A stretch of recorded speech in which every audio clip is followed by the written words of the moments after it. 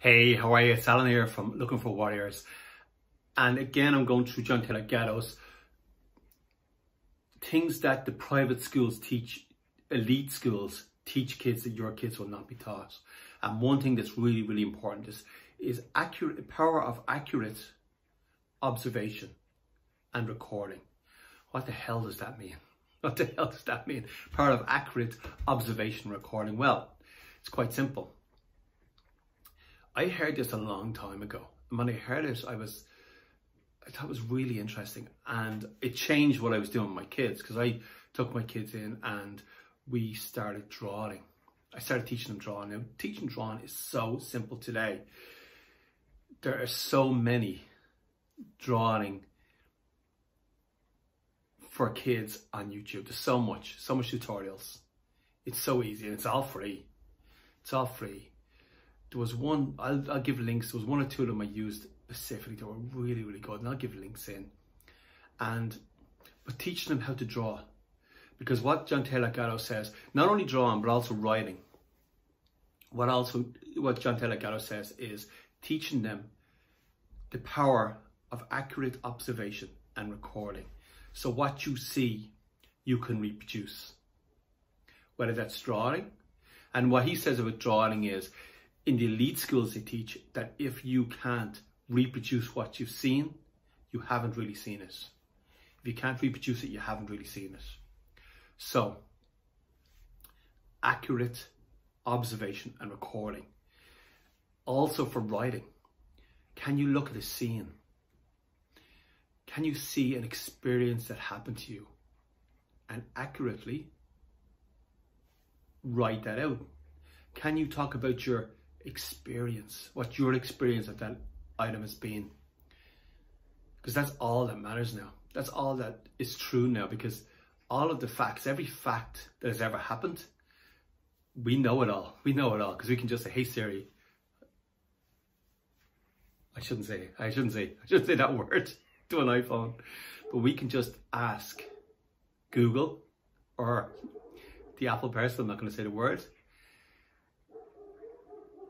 for the facts, whatever facts we want. And we got them all. But what we can't ask for, and this is the whole thing about AI as well, like, oh, AI is going to take over and, you know, there'll be no jobs because of AI and humans won't be important because of AI. Humans will stop thinking because of AI.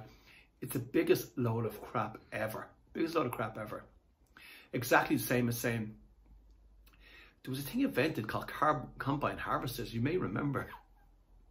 It means that everybody on the planet can eat these combine harvesters.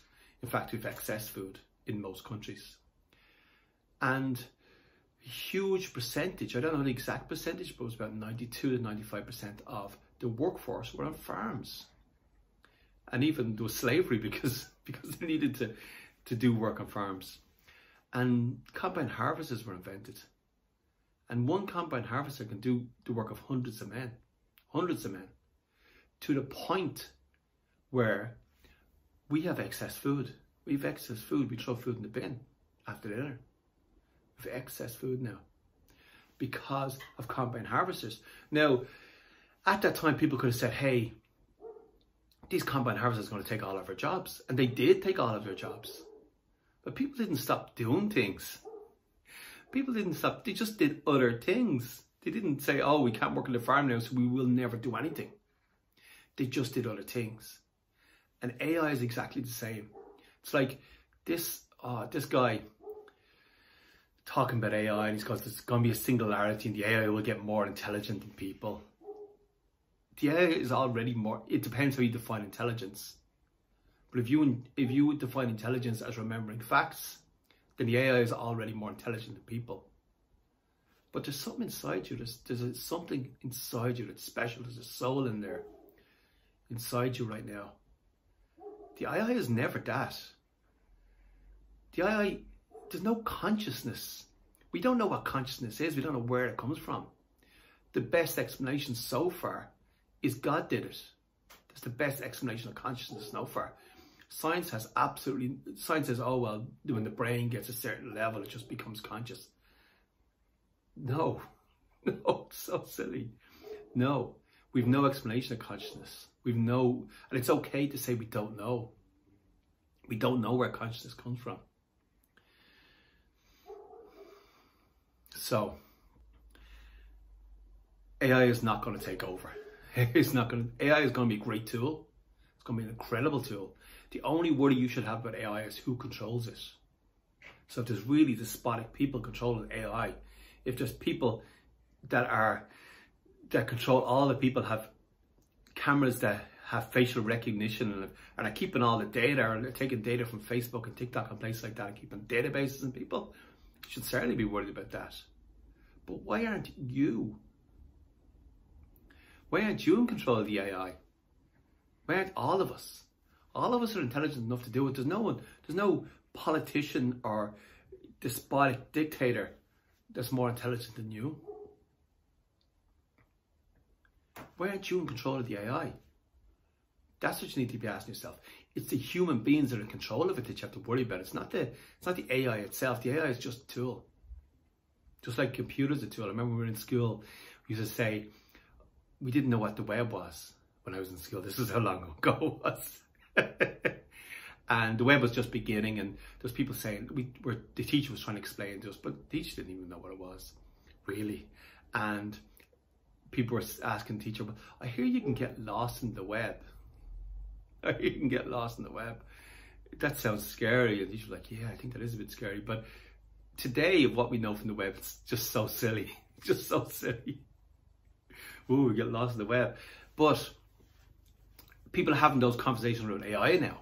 Is AI going to take over? Is AI going to be more intelligent? Is AI going to realize that it's more powerful and stronger than us? so silly. Yeah, it, if someone programs that in, it will, but only it'll only ever do what's programmed into it. And this machine learning, machine learning is not consciousness. It's not consciousness. So, let's get back to John Taylor Gatto.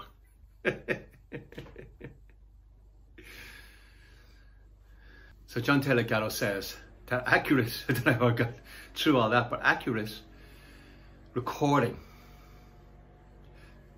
accurate observation and recording is absolutely, absolutely vital for being able to see what's there. So that means drawing, being able to draw, being good at drawing. It also means writing, being able to write. And what he says, writing is part of the active literacy, that what he says. And the writing, it's really, really important to be able to write well and also observe what's there and be able to write about it. So what's your experience? And he says the only way to learn that for a kid, you can't teach a kid that you cannot teach a kid that. It can't be taught. The only way for a kid to learn it is to do it every day. And what he says is write 300 words a day. Every single day. And he says elite private schools have done this. They've asked people to write out every day to write out essay, 500 words, 1,000 words, whatever it happens to be. And you put it into a letterbox. And he said that it, within the college it was said that all of these things that they wrote every single day, these papers they wrote every single day were taken and read.